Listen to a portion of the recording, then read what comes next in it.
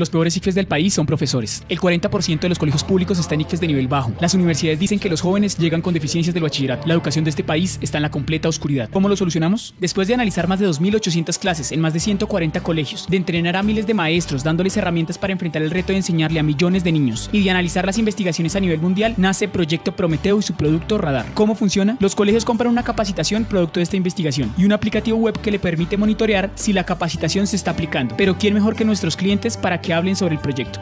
Soy Gustavo Ramírez, rector del Colegio Leonida Rubio Villegas. Compré el módulo de Radar Guía 34 porque muchos maestros no saben cómo desarrollar este procedimiento, el cual es obligatorio para todos los colegios del país y debe hacerse todos los años. Además me ahorro 7 días de trabajo de 25 de mis profesores y uso el aplicativo web. Desde mis 40 años de experiencia, Prometeo es la única empresa que tiene un software que ayuda a solucionar este problema. Como este, hay 6 módulos más que les permiten a los colegios mejorar la calidad pedagógica y monitorear que se aplique lo que se aprende en la capacitación. Por todo esto y más, Proyecto Prometeo es la empresa que ilumina la educación del país.